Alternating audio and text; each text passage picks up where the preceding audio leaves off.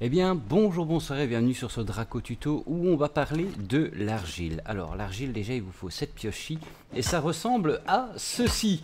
Et je vais vous dire un petit peu sur la carte où est-ce que vous allez pouvoir en trouver très facilement. Donc, si vous revenez, vous êtes dans la zone de départ. Vous voyez que je suis ici sur le côté. Et alors, vous allez pouvoir en trouver énormément ici autour, aussi, jusque, jusque là, sans aucun problème. Maintenant, sachez que dès que vous avez une zone de sable, vous risquez de trouver de l'argile.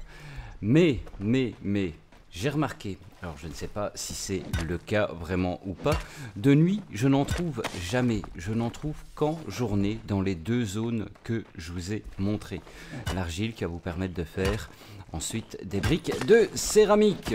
Voilà, sur ce, j'espère que ce Draco tuto, bah, très court, hein, vous aura aidé.